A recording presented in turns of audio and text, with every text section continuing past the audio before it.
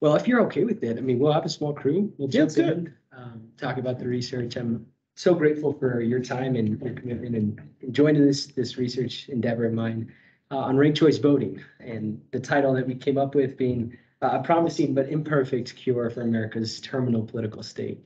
Uh, Recognizing that there's, there's changes that need to be made to it to, to make it as effective as it could be.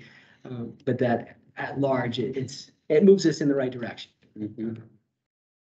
When I've thought about how to communicate the importance, picture is working.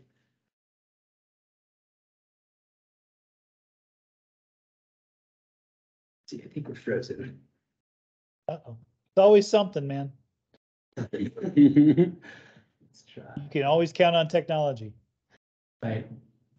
How about that? Let's try that. There you go. There we go. So when I've been asked to communicate the state of our politics in various papers, research papers, essays, I've often come back to this analogy of the river, of the raging river. And depending on your viewpoint, you could be an elected official, you could be a constituent, but you're standing on one side and either power or constituency stands on the other. And as the corrupting influences of politics, as the moneyed interests continue to increase in prevalence in our politics, continuing to create distance between the elected officials and the constituents for whom they serve. It becomes more difficult to comprehend what it is the constituents want to see. And it becomes more daunting for those who choose to cross it. The proverbial Delaware River, if you will, the, the very few who choose to cross it have ample resources. They have a vessel, they have a team, they have the, the financial means to do so. Uh, and for those that, that do not, uh, they don't have the opportunity to, to envision and enact their, their desire, their goal, their vision for elected office. On the constituent side, that being that they, they feel it's impossible to cross and, and for the elected official that they can't hear um, the interests of their constituents because of these, these factors.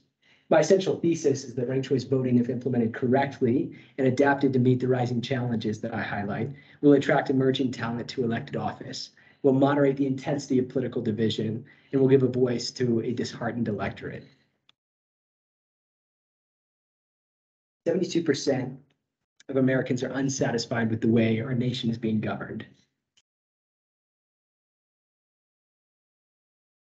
Nineteen percent do not trust or do trust uh, in government to do what is right, only nineteen percent. And fifty-five percent of Americans believe the US will cease to be a democracy one day. In twenty twenty, the Center for Systemic Peace downgraded the United States from a democracy to an anocracy, also known as a partial democracy. The proverbial lesser of two evils is something that voters are well aware of and, and acquainted with, this concept that you, are choosing between two of the worst options uh, given to you by the parties, given to you by the, the primary process. And the fear that by voting a different route, you're throwing away your vote, uh, that it counts for nothing, that uh, the third party candidate would never win all of these, these claims that we've heard before that have impacted uh, the efficacy and viability of a third party run. I think about the party queue, right? This concept that there are many in front of you, many in front of those third party officials, many in front of those who, who have bold ideas that are challenging the establishment, uh, but that don't have the means to, to cut to the front of the line or, or they don't see a feasible route to, to reaching power, or they face this inevitable challenge that every independent does at, at some point in their political career is when do I affiliate? When do I take one path or the other? Uh, when do I choose uh, the compromises, the concessions, um, the specific agenda that comes with that pathway? Uh, or do I choose to not take one at all? Do I forfeit my, my visions, my dreams for the future uh, of serving the nation uh, that so desperately needs it in a disheartened electorate? As you all know, this is a common outcome, a familiar story, right? That 60% of the electorate votes for the other candidate, for the other candidates, that 60% is against the candidate who wins in the plurality election system, uh, the, the most votes wins, of course, as you all know. The example of the ranked choice ballot being you select your first choice, your second choice, your third choice, uh, and that you have the opportunity to enact your, your heart vote, or as the scholarship says, your, your preferential vote rather than your strategic vote. Uh, to be able to do both simultaneously in a ballot is the essence of ranked choice voting, that you shouldn't have to sacrifice one for the other. Now, this is the example. We start with candidate one, 40%, candidate two, 35%, candidate three, 25%. Neither candidate, uh, none of the candidates, of course, have crossed the majority threshold, the, the concept of legitimacy in our system, the majoritarian democracy. Uh, so none of them win uh, under a ranked choice voting election. At which, at which point candidate three is dropped from the race. Candidate three is twenty percent of their voters move over to candidate two, and five percent moves over to candidate one, um, thus pushing candidate two across the threshold and, and claiming victory. Ranked choice voting is currently used as I highlight in my, uh, in my thesis, and, and I do need to update um, to reflect the data, but twenty plus US states that use ranked choice voting in some form.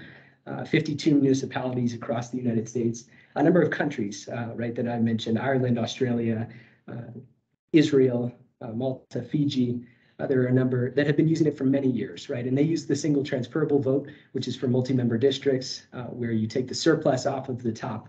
You have a designated threshold and and anyone who meets that threshold, any votes that they surpass that would then be reallocated to the other candidates in the race until you have your designated slate of candidates that are elected. That is not what I'll be focusing on today, primarily the, the alternative vote, uh, the instant runoff voting, IRV 18. These are the questions that I used as I was researching. Does ranked choice voting alleviate or exacerbate partisan divisions uh, in hostile political culture? How does RCV influence two-party system and political establishment? And will ranked choice voting influence the health and future of American democracy? When we consider the voter turnout implications of ranked choice voting, the scholarship did not have a consensus on this, is one thing I'll note. 96 non-presidential elections, according to Kimball and Anthony, uh, highlighted that there was a, a slight decrease in the cities immediately following implementation of ranked choice voting. Uh, but there was also a decrease in, in the other plurality cities of that same study. Um, what the data doesn't show immediately is that there was an increase of about 9% uh, in total primary and runoff election uh, voter turnout, which is what ranked choice voting is designed to do. I, I would suspect that is related to the increased number of candidates that are in the race, the increased enthusiasm um, in the race, and of course, the, the ease with which candidates can vote, uh, not having to come out for a runoff election, and the challenges that that brings in, in voter drop-off between the general election or between the primary, general, and then the runoff election if it's necessary. And then on the right, we highlight the, uh, the voter turnout in Minneapolis. This is an example, a case study that many of the RCV proponents use and reference uh, is the increase in each of the, the socioeconomic wards in Minneapolis, Minnesota. Uh, the most prominent being in the low-income wards in Minneapolis. Uh, and, a, and, a, fascinating example of that, 2005 being the pre-RCV uh, time period, and then 2013 uh, being after. When we look back to 1860, the Republican National Convention, the selection uh, of the presidential candidate for the Republican Party in 1860. Um, you all probably know as scholars, but uh, President Lincoln was received about 20% of the support uh, of the, the convention out of the gates. And over time, over a series of tabulations uh, and days of caucusing, ultimately reached 75% support from, from his caucus, but began at 20%. And I have to wonder if he had not had in that moment the political ingenuity, the skill, the ability to articulate his vision in the way that he did, going against William H. Seward, who was the governor of New York at the time, uh, and, and touted as the, the next nominee of the GOP in 1860. That's important to ask if if he hadn't been elected, he wasn't the best candidate, but he was the right president. If he hadn't been elected, we wonder what the future of our country may have held um, and where we would be today if it weren't for that decisive moment in American history. Uh, and it started with a candidate who came from behind. And the scholarship suggests that about 57% of the time that happens in, in national conventions. Uh, nonetheless, how can we continue to design systems, processes, procedures that find the Lincolns of our uh, of our candidate pool and ensure that they can succeed? As Richie et al. highlights, uh, one of the challenges or and benefits of ranked choice voting, one of the benefits being the rescued votes. Uh, for those candidates those uh, voters in the electorate who vote for a candidate that drops out before election day. Uh, so between the, or, or, apologies, between the um, who cast their ballot, mail-in ballot, early voting, other things like that, uh, that vote before the primary election day. Um, Four million votes from the Democratic side uh, were not counted in the 2020 Democratic uh, primary as a result of voting for candidates that either dropped out before primary election day uh, were subjected to the political forces that convinced them to step away uh, from the race. Uh, or of course, the possibility that they, uh, that the, the candidate didn't reach the fifteen percent threshold in the respective states that they were running in. And also on the Republican side, six hundred thousand votes that weren't counted, that weren't considered. And the question I often wonder with, with this, those proactive voters who voted by mail, who voted early, uh, many of whom voted for candidates that had great potential and great ideas, but didn't have the political force to reach the nomination. Um, I think the question has to be asked, if those votes were counted, uh, if those votes were counted in an instant runoff voting context, uh, the political will would have, have shifted the results. I, I firmly believe that. And, and that, that's what we have to explore in the data. When we look back to President Lincoln, 1843, he wrote a letter to Martin Morris. It would be proper for your meeting, referring to the, uh, to the caucus uh, for the Congressional District 7 in Illinois. This is when he was a candidate for a position he didn't end up winning uh, in this time around.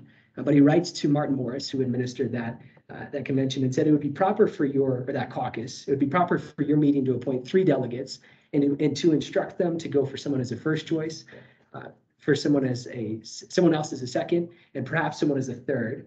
And if in those instructions I were named as the first choice, it would gratify me very much right? And he recognized in this moment that there's benefit in embracing embracing the spectrum of, of candidate possibility, of, of breaking free of the binary stronghold and orthodoxy and, and questioning whether there's talent that that may be unseen, that may be veiled right now. Uh, President Lincoln held to that from the start of his political career. And he also created the framework and, and validated the framework in which voters can vote their heart. They can vote their preferential vote, their preferred vote, not just their strategic vote, and which is their mind vote. Simmons et al. finds that third-party support increases under ranked choice voting. Uh, in one of the studies, they found that uh, an experimental study involving a control group that was uh, focusing on, or, or a control group with plurality elections, and then the ranked choice voting group, they found that the population they studied was willing to increase their support for third-party candidates from about 3.75% to about 7%, uh, nearly doubling of the interest in, in third-party candidates, uh, which of course is small uh, in, in comparison, but when we consider the, the marginal, uh, the marginal victories that happen in competitive states, uh, it's quite momentous, right? When we consider that 10% of the electorate uh, is holds status as a no lean independent, uh, that's that's momentous and, and can change races. Uh, and Blaze et al. tied in with McDaniel uh, found that 12% uh, would switch under an RCV system, which is a slightly inflated number. We woke up to this headline this morning from the New York Times that Kyrsten Sinema has officially left or is planning to leave the Democratic Party, uh, citing that she will never fit perfectly in either national party, which I think is is how many independents feel. I think it's it's a, a sentiment of my generation, uh, the desire to have progress, common sense progress on the pressing issues of our time, whether it be climate change, whether it be div- division, whether it be uh, racial division, and and and we have an opportunity to bridge that, and we understand that having only a binary viewpoint on every topic is is not sufficient. And I'll mention here, I was one of the things I appreciated about working with the Attorney General staff this summer, mm. is that every attorney on their their payroll embraces a complex understanding of their subject. You ask them what their opinion is, and they give you seven opinions, or they give you seven stances or different approaches you could take. Or, well, if we had time to research this more, it would have revealed this. They refuse to accept the simplicity that is often fed to the voters. And I think that's something that our generation will ask more of. On the representative side, ranked choice voting has a, a strong performance. Richie Terrell report uh, an increase in a comparison of the, the cities in the Bay Area of 11 California cities that implemented, uh, half of them that implemented RCV and half of them that didn't. They found that during the period 1995 to 2014, women in representation in politics increased from 39.9 to 42.1% in the ranked choice voting cities, while at the same time, in the same time period, it decreased in the plurality control cities from 38.9 to 34.4, which is momentous. Uh, On the right side, they highlight uh, the breakdown as of 2021 in those cities, the ones that pursued RCV and the ones that held to plurality. And the ones that pursued RCV, women represent 46% of the mayorships uh, and 23% in the plurality cities. It's a strong performance. When we look at ballot exhaustion, I, I want to be sober and, and honest about the, the benefits, the downsides, the operational nuances, not to have rose-colored glasses about how we the topic. Uh, ballot exhaustion is one of the examples where ranked choice voting uh, has some work to do. Uh, Like I mentioned, the study from Burnett and Kogan I mentioned in my thesis is highlights four cities uh, that pursued ranked choice voting. Oakland, San Francisco, and San Leandro in California, and then Pierce County in Washington. And of those cities, they found that the ballot exhaustion rates, which is essentially when you vote for uh, a designated number of candidates on your ballot, but your ballot gets tossed out at some point, could be from multiple factors. The main one is uh, voters who bullet vote or vote truncate, which is where they don't use the full number of allotted spaces or they only vote for one candidate. The likelihood of their ballot carrying to the last round of tabulation is much lower. And therefore, in essence, their vote is not being considered uh, in practice by that last round of tabulation. That's what's demonstrated in Oakland, Pierce County, San Leandro. Uh, and then San Francisco is the outlier with twenty-seven percent of the ballots being exhausted. Uh, now, I've mentioned before, this is because they had si- sixteen candidates on the ballot and they only allowed three slots to be voted, uh, three available slots to the voters.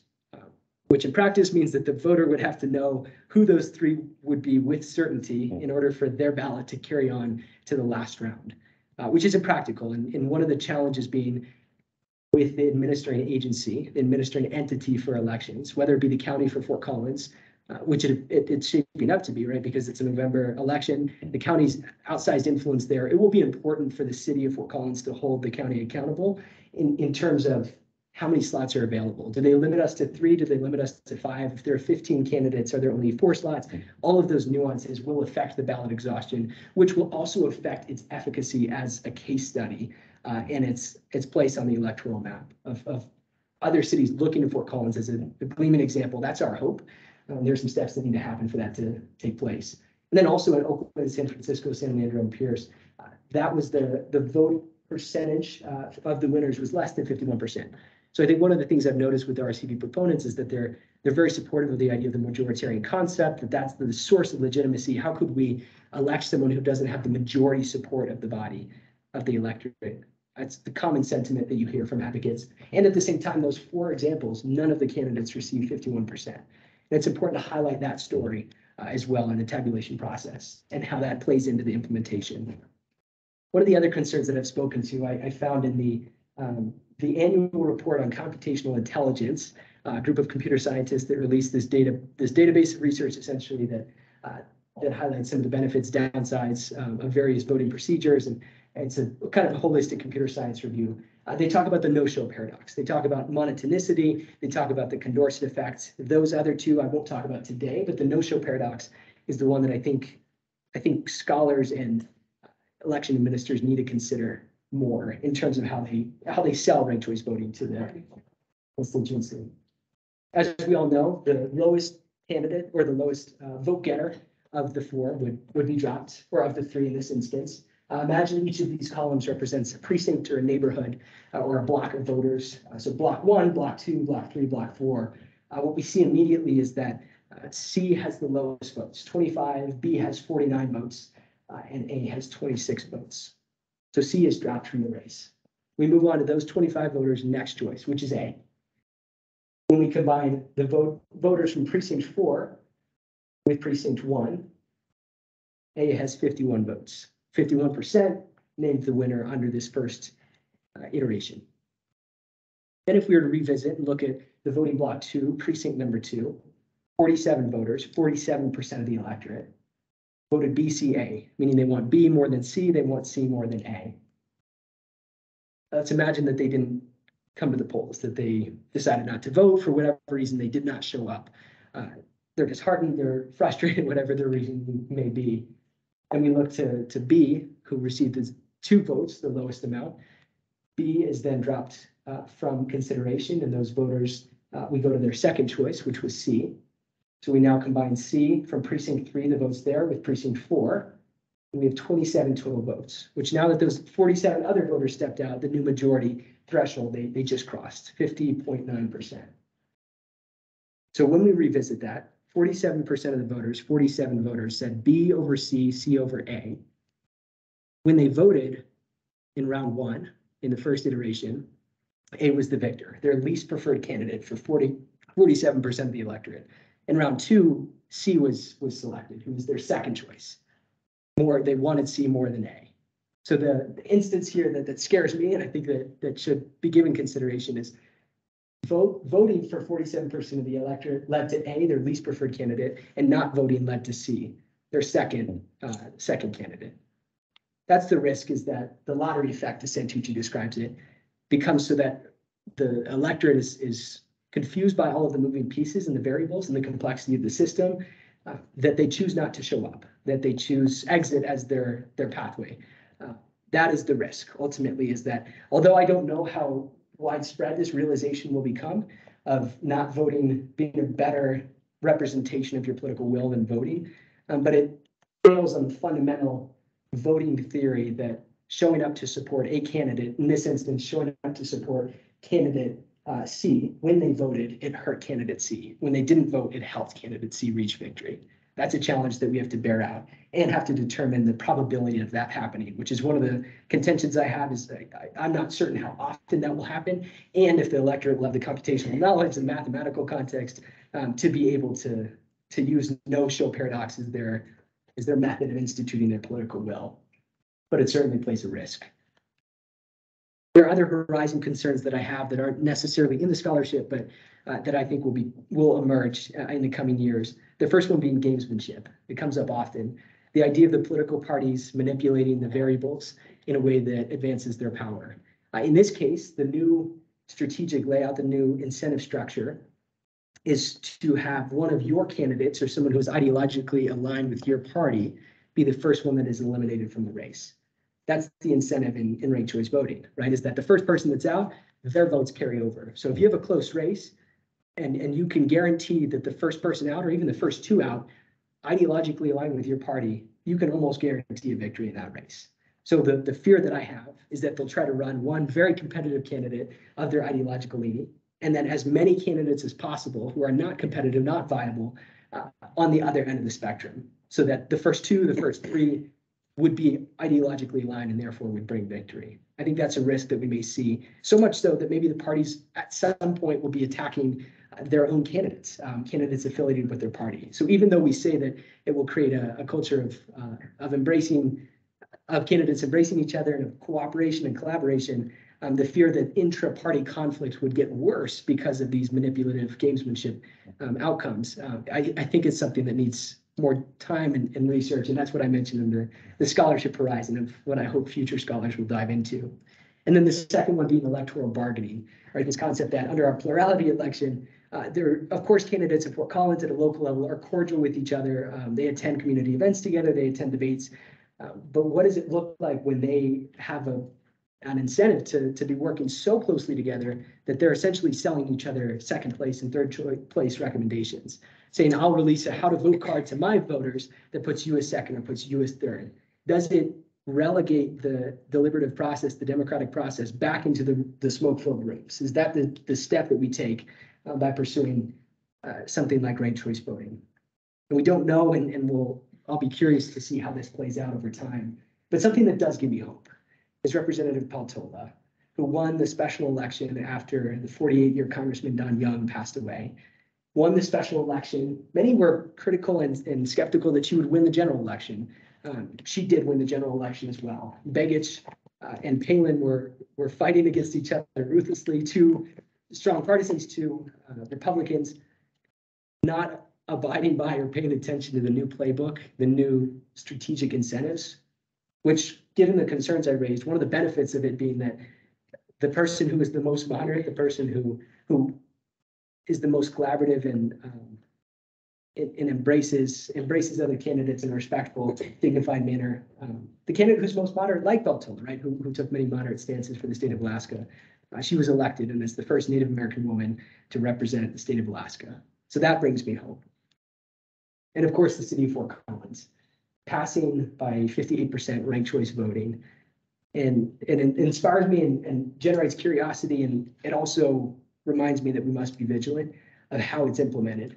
Uh, because if we care about the concept of ranked choice voting, if we truly understand the, the operational nuances and the downsides and the trade-offs of ranked choice voting, it should inspire in us a similar interest in, in working with administrative officials to a communicate these complexities to the voting base, to the electorate, to ensure that it's a successful case study, uh, but also in being honest about the benefits, the downsides, uh, and having an interest to continue to reform uh, so that we can reach our, our democratic uh, objectives. So with that, very grateful for your time and, uh, and thank you for being a part of my committee. And I'd welcome any questions on the research or presentation.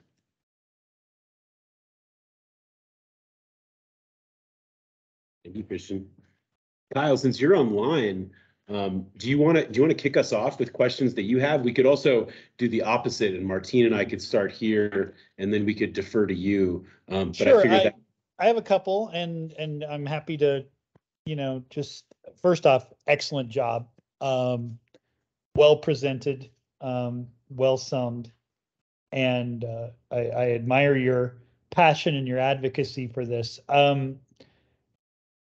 One of the concepts that you mentioned, uh, and just to kind of, Christian and I have had many banters back and forth in class about this and, and not about this particular topic that I'm about to throw on him, but, um, but it, but it, is, it is somewhat a, an interesting question that I wonder, uh, I'd like to hear him riff a little bit on, um, before we get into more substantive questions.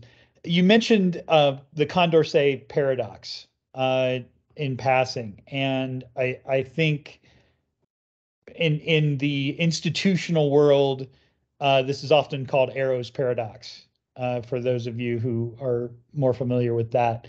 And this is the idea that um, either somebody casting a ballot or somebody uh, in some way, A prefers B, B prefer, or they prefer A to B, they prefer B to C, but they prefer C to A.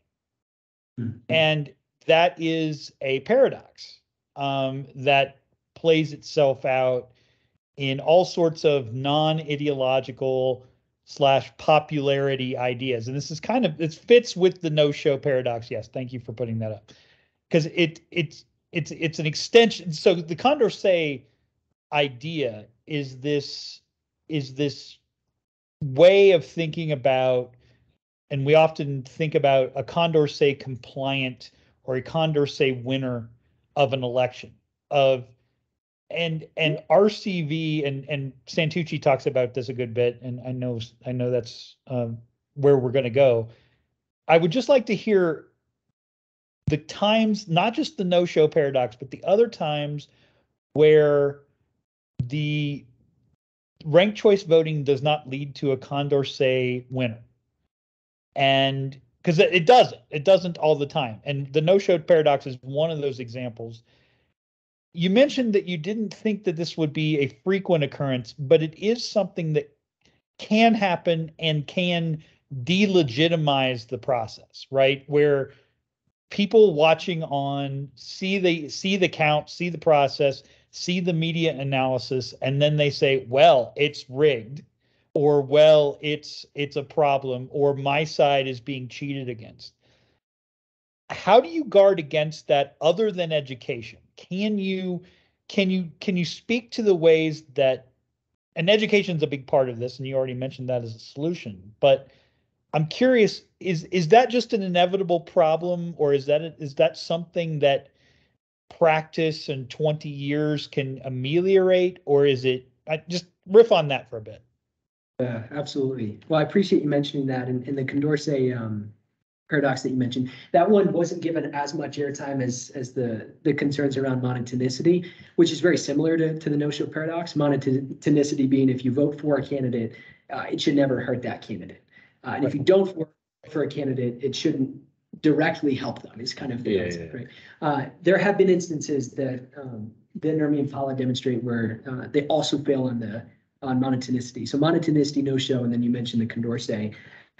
You know, I think it's challenging. I, Dr. Sanders, from the from the conceptual standpoint, um, it makes sense, right? That there would be this doubt, there would be this fear, um, that there'd be a growing uh, concern for the legitimacy of our voting systems if that's not rectified. And at the same time, I, I challenge that that who, who it is that we're electing. Ultimately, it's people, right? I think one of the misconceptions that that I've often realized is we talk about our systems, we talk about our um, our system of government, uh, systemic issues, and and sometimes we forget that ultimately the system is a collection of people.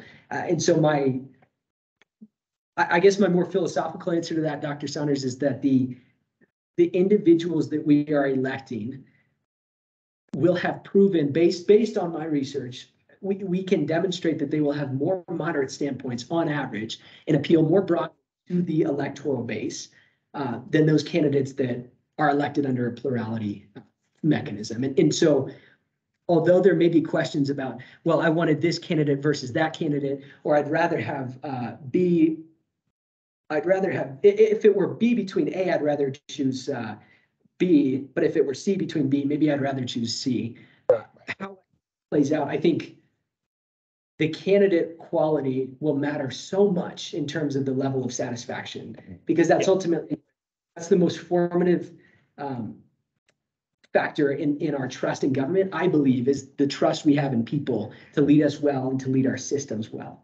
And so my trust in ranked choice voting and accomplishing candidate quality and attracting more candidates uh, in loosening the stranglehold in which the parties feel not only obligated, but in, in order to in order to maintain power, they have to whittle down when, when come the general election. I think all of the loosening those factors and changing the incentives will bring about more, um, more contentment. And then the last thing I'll say too, the theme of, uh, of contact, right? I think contact is so important. And we found, let me see if I can find the exact data point here. Uh, they found that young people especially were significantly more likely to be contacted by their elected officials under the ranked choice voting system than under the plurality. And so all of your questions, um, assuming that legitimacy or delegitimacy, de- de- delegitimizing comes from the outcome of the vote, I would argue that any contact with the electorate that wouldn't have happened otherwise is a net gain for society because we become more informed, we become more engaged, we get to know our elected officials. You sure as heck hope so. No, I, well, well answered, well answered. And, and I, I think, you know, when I think about this inside of that answer and think about candidate recruitment, and obviously Christian and I just had a parties and elections class together, so this is, this is a little bit off topic, but I I think he'll understand where I'm going. Is your, your point about the system itself incentivizing candidates of perhaps higher quality amidst this trend away from party, re- the ability for parties to recruit candidates who are relatively moderate because the parties are weak on that front, right? And so the system itself encouraging more and more candidates may or may not lead to candidate quality in the short term, right? It, it, there's there's a there's a real chance that you'll have some amateurism and you'll have other aspects of this that are also going to be incentivized in this because there's no central control of and no necessarily party mechanism that's doing the selective de-recruitment that one often sees inside a more tight primary system. So I, I, I, I think you're right, though, that over the medium term and the longer term, there should be a, an equilibrium, at least with regard to this incentive system, that gives you more, at least more efficacy for good candidates to see that they have a shot. Right. And that, and, and that's a good, good in this case means depolarizing to a certain extent. And, and whether or not that's assured, what role the parties play in all of that, because ultimately, and th- this is this is where I want to hear you speak, is this idea of do parties and will parties like ranked choice voting being implemented? And if you don't have party support, because one of the parties want to control the candidates, is back to the responsible party model, all that stuff, right? will parties support this? Or is it going to have to be continue, continue to be something driven by voter participation? And maybe it should be, but do you see the parties being an opponent because of exactly the- these, the things that you're setting up? Absolutely. I, I think there's, there's an argument to be made, certainly, that the, the party, I appreciate you mentioning the amateurism and, and the, the responsible party wanting to control as many variables as possible, to fix as many variables as possible. Uh, and a, a broad swath of candidates uh, especially those with no political background or, or career, presents a challenge there, right? Um, their electability, all of these other factors that the party not only may not be able to, to assess or evaluate, but they may not be in a position to enact, to act on that. Um, and that's where I actually argue in the end of my, my thesis that I, I think ranked choice voting poses a threat to the two-party system at this point. And I think RCV proponents, if they are wise, will start to target the primary process. Will sell this to the parties for the primary process, primary election, in order to moderate their, um, their electoral You primary. You mean having ranked choice voting for the primary or Exactly. replacing the primary with? Uh, so having it for the primary. Okay. It is one Yeah, of the, Exactly. Yep. Awesome, right? So Keep this going, keep going. Virginia, right, with Glenn Youngkin, that was, that selection was under ranked choice voting model, uh, and he, he was able to, to take the governorship, right? I think of other examples where, um, I mean, the jungle primary being a good one, but that's a blanket primary in Alaska that, that of course molds the two parties together. Um, but nonetheless, I think if you could make the case, Colorado being another good example where, uh, we had a number of election deniers that ran during the, the party primary, right, of this most recent election cycle. Uh, and most of them, if not all of them, lost, right, during the primary. The open, uh, the open primary moderated the, uh, or I may have to, to confirm that if they're open or closed. I'm an independent, so I, Yeah, It's, it's open here because you were able to vote. You, you just have to pick. Yeah. exactly. But their choice to open, uh, their primary to, uh, independents, it moderated the dialogue. And so I would argue that ranked choice voting does that in a way that it's politically ingenious and it's also achieved the goal, I believe, of the party, which is to moderate to a candidate that can then succeed in the general election. And RCV is designed to accomplish exactly that. Mm-hmm. So my mentality is sell it to the parties to implement on a primary level and they see the efficacy, they see the value, they see that higher quality candidates are emerging. And for the, the very few, hopefully most of them who genuinely want to serve and genuinely want to improve our system, they would see better leaders who are more effective, who are serving the constituency better, who are more responsive, who are creating more enthusiasm surrounding government, who are rebuilding the trust in government. I'd have to believe that that would be a, the pretext for them adopting it in the election, in the general election. We'll answer. I turn over to the mic. Uh, let me, let me build off of that really quickly too. Um, what's interesting too is like right now, the dynamic that we have nationally is that one party and unaffiliated voters slash independent voters seem to support ranked choice voting. So there's like tacit approval in the Democratic Party.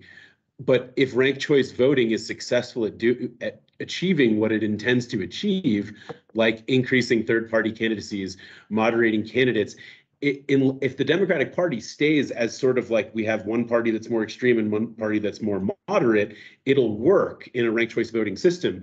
If the parties realign, would you agree that more tension will emerge and parties basically, if in the next 10 years ranked choice voting is successful, we might see the parties turn against it. Because that's what that's what Santucci would say we saw 100 years ago. Would you agree with that to some extent? And then my question for you, if, if he's, I don't think, Oh, be, oh, I thought, okay, I just want to make sure that, I, I didn't know if you, I, I, I'm ready to answer that. Um, the, yes. Um, I think that's, that's exactly how I think about it. In fact, I think it could happen faster than that. Um, because I think there are forces inside the parties with regard to campaign finance and other aspects that do not want to see moderation.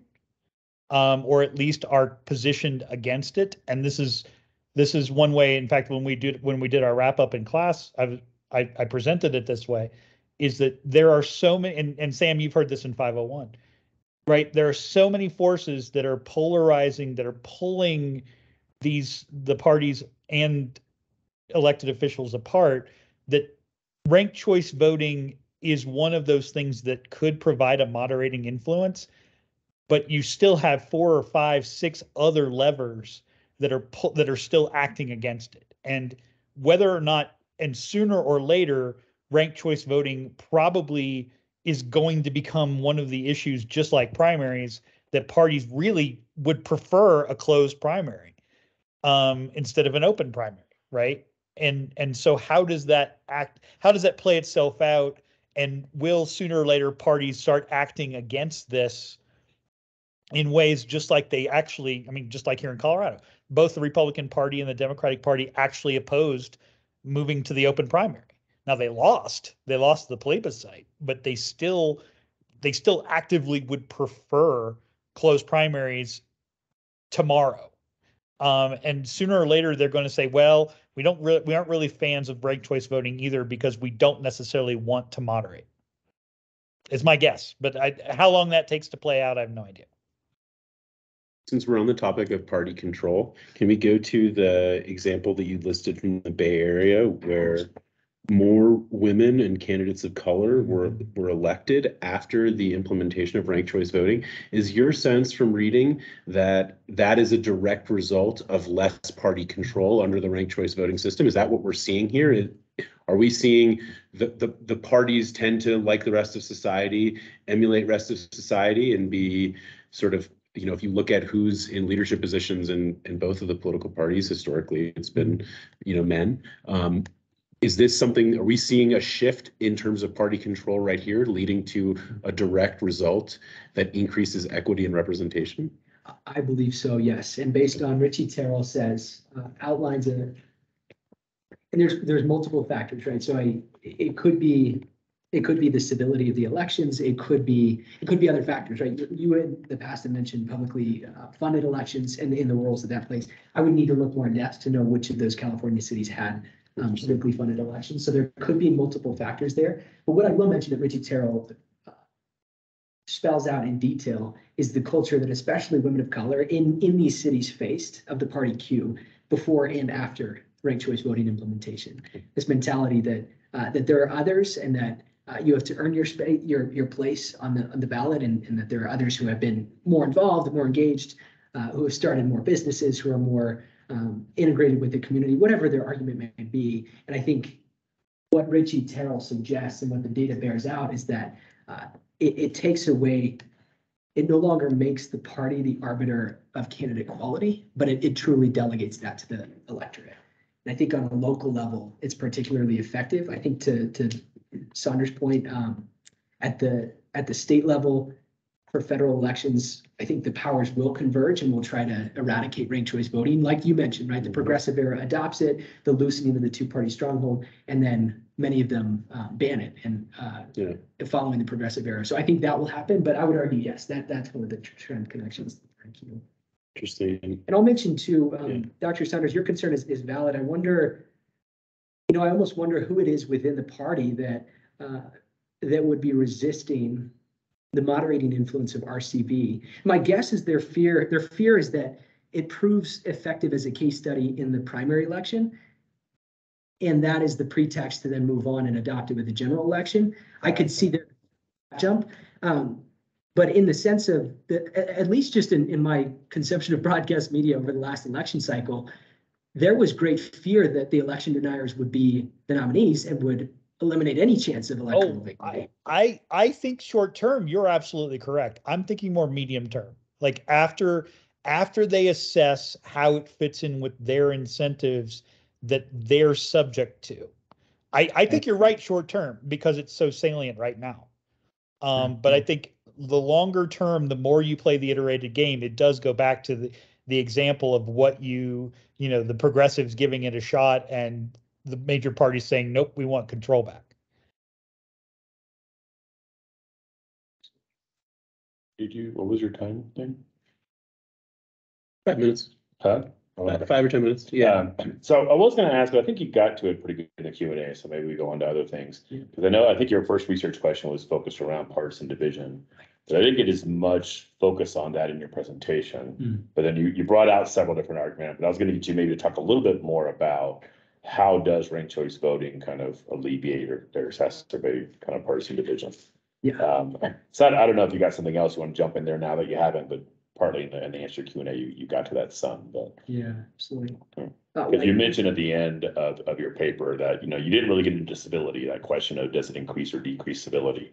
I don't know if you got, you know, some senses of You that, know, it's challenging. It's so hard to quantify, right? right? I Yeah, think that was the issue I Yeah, found. In, yeah. in others, other much less scholars, researchable. yeah. right, other scholars tried to, they tried to Yeah. make, um, consensus statements about where the scholarship stands on things like civility. Yeah. Um, but with it being so subjective, uh, it's so Yeah. difficult to quantify. I didn't want to make that a central pillar of my research. Mhm. But what I will mention is that civility, insofar as myself as an elect, as a candidate for elected office, I cannot afford to, in the new incentive structure, cannot afford to ostracize the base of my competitor.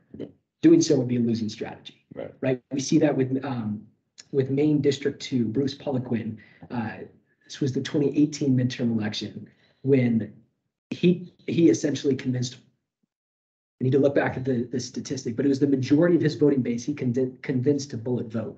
Um, kind of similar to the ideological concerns that you need to protect the ideological purity of your ballot, just vote for me. It was a losing strategy and lost him the election. And, and in the same vein, I would say if he had, if he had shifted and he had not ostracized the bases of the independent candidates that were in the race, or even his competitor, who's a, who's a Democrat, uh, I think he may have won. And he had the incumbency on his behalf, but he still lost because of that, um, not responding to the, the change in, um, in, in incentive structure. And, and the same thing for Alaska. It's something I really did appreciate. And I don't know if that's just an ethic of the state. Uh, Dr. Saunders can share. I, I did my, uh, fifteen page paper on Alaska this last week and, uh, learning about some of the, the You cultural. got an Oh, well, thank you. Breaking news.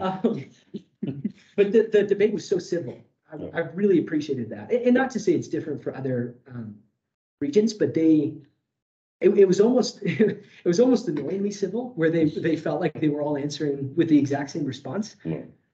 Which, I mean, that, that may be one of the downsides. They all have the same opinion on all the same topics. How is that, how can that be possible? Right, right, yeah. But Yeah, nonetheless, I would argue you can be too civil, right? yeah. So It's a balance to, to hit, not a, something you maximize. Totally, but an example where the, the point of gravity is, is towards the center as opposed to towards the ends of the spectrum. Well, well, I I don't know if there's a question here, but one quick thing, if Yeah. if you're continuing with this, right? Because when you, when you, like, the, the question of game, gamification, right? Can people game this too much?